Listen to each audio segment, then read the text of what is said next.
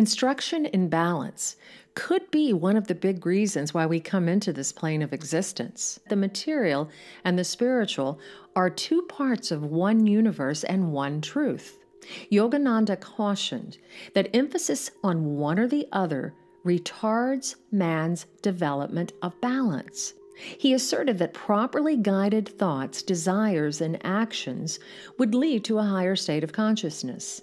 No better emphasis could be given this statement on balance than another quotation from the Edgar Cayce records. Each soul is a temple of the living God. Thus, be more mindful of the body, not for the body's sake, that it may be a better channel for manifesting spiritual truths.